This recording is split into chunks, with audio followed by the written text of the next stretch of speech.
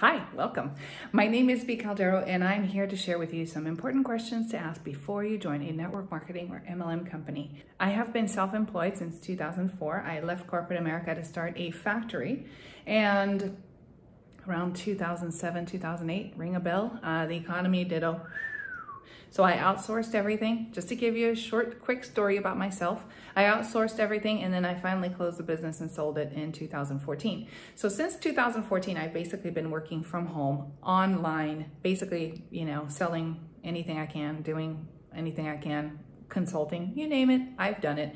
So um, if you have any questions for me, just go ahead and message me. You can find all of my contact information beneath this video, or you can leave me a comment on YouTube. I love network marketing. I used to hate it. I had sworn it off. I thought it doesn't work. It's a sham. It's a scam. I actually said all of the nasty things that you're going to read online about the various companies that you're that you've been looking into and even the one that you're intending on joining. But the thing is that I realized in 2017 that basically you get out of the business what you put into the business. It's like, what? So once I decided that I was going to work my business just like I was working in corporate America, as if I was accountable to somebody else, I decided to work my business from, you know, like have regular business hours, be organized, keep track of my records, my receipts and everything else. I decided I'm gonna give it one more go. And I had I found a company that I really, really enjoy and I absolutely love it. I've been with them for two and a half years. If you're interested in finding out what company I'm with, just go ahead and again, private message me on any of the social media platforms that you see listed below. I would appreciate a thumbs up and a subscribe. Go ahead and subscribe to my YouTube channel because I will be dropping lots of videos sharing goodies. I am not a coach. I'm not a coach. I'm not a professional, you know, like I don't know it all and everything else, but I am here to share with you information that I think that you would find useful.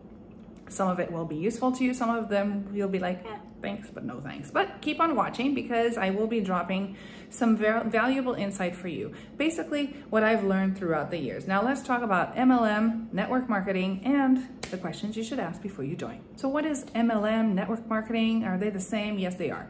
Um, is it a pyramid scheme? No, it's not. Uh, well, most companies are not. Uh, most of these companies, basically what they've done is they've eliminated the middleman, okay? So instead of going to a big box store, one that starts with the T, one that starts with the uh, W, you know, the big ones, um, instead of going to the store to buy those products, what they're basically doing is they're, they've contracted with reps, people like you and me, to, um, to disperse the products or to make the products available to people who need them.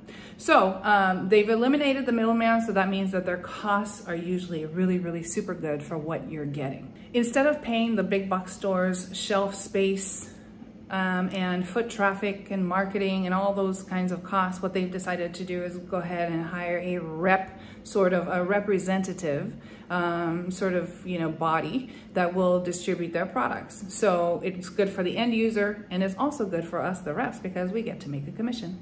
There are two ways to make money with an MLM or network marketing. MLM, by the way, stands for multi-level marketing, okay? Um, there are two ways to make money with the MLM slash network marketing companies. And that is one, you sell the product, you make your cash, you're good. Two, you build a team. Basically, you attract other people like yourself, and then you basically build a team so that you all can do the same thing. You rep the product to your specific audience, whatever that may be.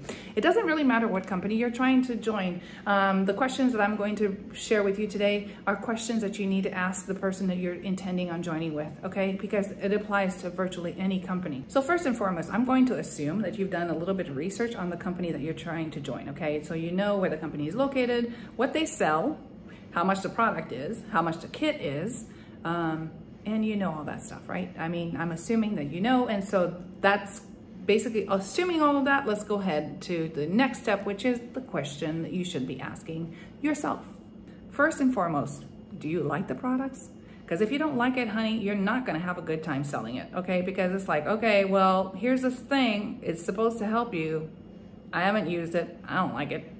So, but I'll make money if you buy it, so buy it.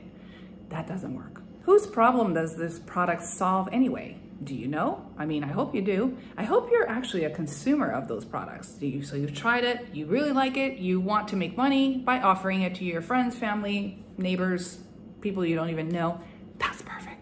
I hope you know how much you have to invest into this business and how long it's going to take you to reap the benefits of your investment, okay? Sometimes it could be immediate, like if you're selling a product that's really super affordable and that people want and they're craving, like my company, um, then, you know, the, the cash is immediate. And if you're selling a bigger ticket item, and perhaps even it is a renewable, right? So you need, your customers need to buy it again and again, like every 30 days, 60 days, 120 days, whatever, then you know exactly how long it's gonna take you to reap the benefits of your investments. So I hope you know that, right? Because we're all smart and we all do our research. Knowing all of this is going to help you kind of lay down the foundation for your growth, okay? Because you need to be able to know how you're gonna grow within this company. So um, yeah, so yeah, Okay, let's go on to the next, even more exciting part. I'm a firm believer in the power of now, okay? Now is all you have. You're watching this video, now is all you have. You don't have the past, you don't yet have tomorrow, so now is all you have. So if you've been thinking about it, you've been dreaming about it, you've been asking yourself questions about it, you've been doing some research on it, girl, jump in. Just do it. Just do it. Okay. Because there will never be a time when all the stars are aligned and all the ducks are in the row and it's going to be like kumbaya, kumbaya. The clouds have parted. Now it's time for me to join the business. That's not how it works. Okay. The thing is that once you have that gut feeling and you're like, let's go, and you have all the information, you have to have all the, that information, right? That information about the investment, the knowledge of the company, etc. Once you have all that, jump in.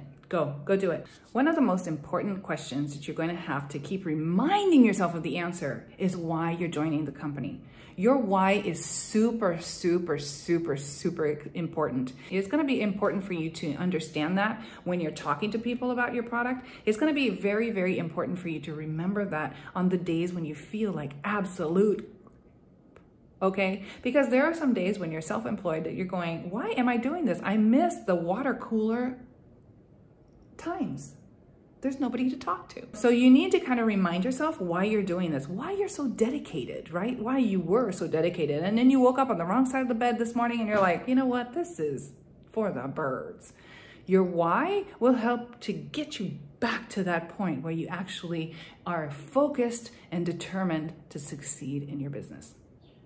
Okay, so now here comes the juicy part, okay? For a network marketing company, um, you're gonna have to find a rep to sign up with, okay? So if you just go onto the corporate website and you're like, I wanna sign up and I'm just gonna pick my zip code 90210 and I'm just gonna pick the first random person to join. I mean, I wouldn't do it, but you know, whatever. I mean, to each their own. But if you're if you're interested in actually growing your business, you actually need that support, and you need to know who you're joining with the person that you're joining with is actually going to be a huge component to your success because no no man succeeds by himself, right? So you're going to need that support. You're going to need that support and you're going to need kind of like this roadmap that this person has followed in order to get to where they're going, right?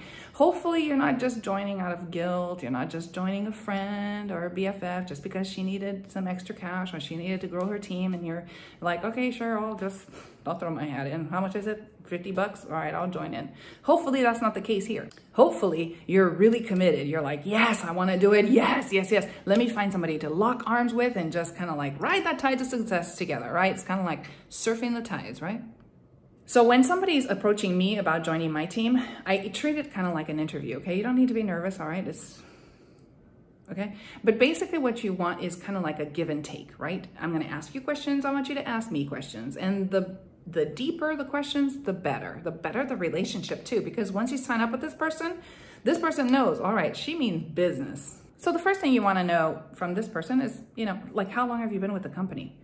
If the person's been with the company for like a week, um, I mean, there are some exceptions, okay? So nothing I'm saying today is like a cover-all, you know, generalization applies to everybody, all right? There are some cases where somebody just signed up with a company and they're already just kind of like, woo, because, you know, they've brought their previous teams and they have a huge network and everything else. I mean, those things do happen, but it's rare.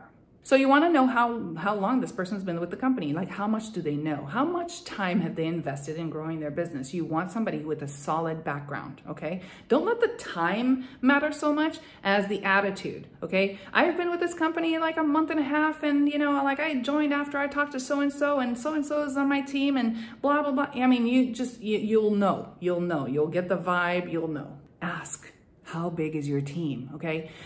The number again the number on the team doesn't really matter but it's the whole attitude right? So if this person's been with the company for a while and they have established a certain amount of people you know joining them and everything else because they're attractive right? So people are gravitating to this person because they they just feel that this person has so much to offer then that's like awesome. But if this person is like you know well i've been with the company five years and i haven't signed up yet but you'll be my first one run away. Like seriously run away you also want to know what the team dynamics are, okay? Assuming that your upline already has a team, which would be great. If it if she doesn't or he doesn't, that's okay, but you kind of need to get the vibe down, right? But, you know, you want to know what the team dynamics are. So like, you know, what's the team support like? How close is the team? Do you guys have a team chat? Do you do Zoom calls? Do you do trainings? Who can I contact if you're not available? You want to know that there's like their support, your upline support, the backup support, the backup of the backup, the backup of the, the backup, because things change, you know, people move around, they, you know, life happens, right? One of my biggest pet peeves is when somebody says, I am with company XYZ and I will be for there forever, because it's never going to change. You're never going to get me to join another company. Honey, child, please. How old are you? Do you not realize that things do change? Life happens, people move on things change. The only constant is change, right? So you need to know, you yourself, for you, right? Um, that you, you're going to have the support, right? So if that person moves on, gets abducted um, by aliens um, or decides that, you know, this is no longer the forever company, then you need to know yourself, who is my support? So you need to know these things. Okay, so ask, what is your team dynamic? What's going on? Like, who's my support team? Ask this person, how long did it take you to reap the benefits of your investment? Okay, so depending on what you're selling, you want to be able to get some money back. You're actually in this business to make money. You're not in this business to make good old buddy, go old pal, right? So you're in this business to make money. And so you want to know, like, how long did it take you before you could actually take money back out of the business? You want her to, or him, to answer that question because you want to know, kind of like, you know, what's the roadmap you're setting up for me here? Now comes the doozy, okay? You need to know what your goals are, all right? My goal is to take my family on an all expenses first class trip around the world and there are 26,000 of us. You need to know what your what your goals are, okay? What your goal is, you need to share with your upline, your potential upline, okay? Because your potential upline needs to say to you, okay, honey, you know what? If you want that to happen, it's not going to happen by next month. But, you know, if you, you do X, Y, Z, then we can help you get there by next December, for example, okay? So you want somebody who can actually discuss your goals and get the fact that your goals are not his or her goals, all right? It doesn't matter what your goals are to, to them. All that matters is that they will help you achieve your goals. That is the, the number one purpose of an upline.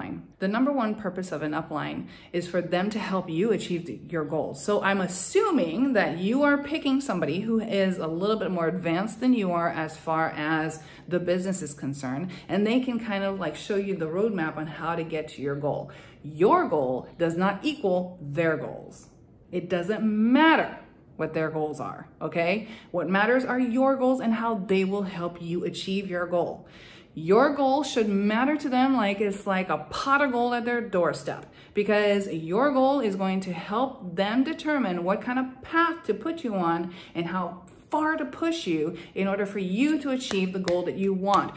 Doesn't matter what the company goals are, doesn't matter what the team's goals are. What matters are your goals, okay? This is really, really super, super, super important. Everybody who approaches me to join my team, I ask them first and foremost, what are your goals? Some people they join for the discount, okay?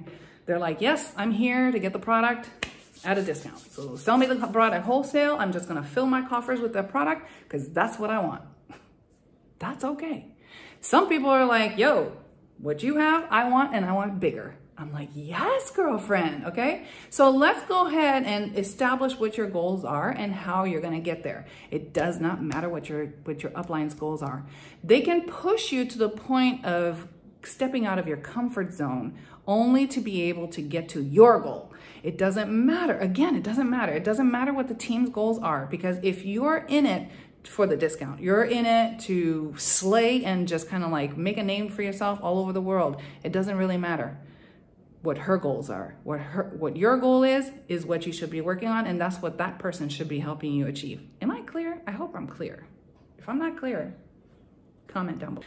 Your upline is basically kind of like your cheerleader, right? Those are your, that's your team, right? And you're going to do the same thing for your team. Yes, you know, the team has goals. And yes, all of those who can participate should absolutely, definitely participate. If your company has events, please, please, please go to the events. That's another question that you can ask, you know, like, I mean, have you gone to events? Um, you know, what do you think? And if they didn't go to events and there were events, I want to reconsider because somebody who is in the business who cannot afford to go to, to events or doesn't make the time to go to events because there are virtual events, there are in-person events, there are events that are close by their events, there, there, there are meetups, for example, of like-minded people, same company. They get together to kind of like problem solve and everything else and roo roo rah rah each other, right? If they haven't been to any events, I would question this person's um, dedication to growing their business. And actually, I would question their ability to help you.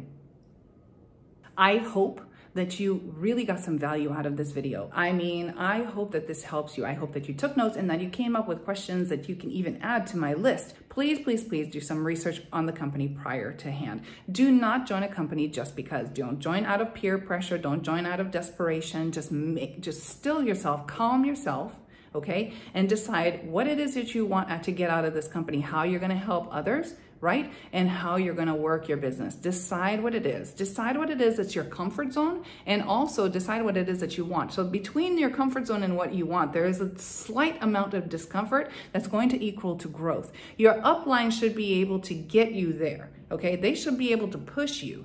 You're like, I, I don't want to go to the event. Uh, you know, it's too far. Uh, the event's at 9 p.m. My bedtime's 6:30, whatever. She's gonna push you and be like, look, y'all, you know, just you know, like get up and and go that's kind of like a pushing outside of your comfort zone, okay? They can't force you to do anything. This is your business. You can do whatever it is you want. But if you want to get out of your business what you put in it and even more, then you need somebody who's going to be your champion, your your cheerleader, you're kind of like your your Brillo pad, right? Iron sharpens iron. That's biblical.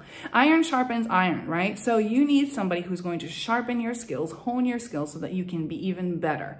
And as an aside, there are no glass ceilings in, in MLM or network marketing, right? So just because your upline reached this level doesn't mean that you can't reach that level. I mean, or beyond, okay? There's no stopping you. There are no limits to what you can do. All that matters is what's in here, okay? All that matters is what's in here. And also, on a slightly different, well, actually a different sort of uh, scale is who you're joined with. Who are you surrounding yourself with? Surround yourself with people who want what you want, who are who have big dreams like you do, or or small dreams like you do. It doesn't matter. Surround yourself with like-minded people, but also surround yourself with people who think a little bit bigger than you, because that's going to be so so so rewarding.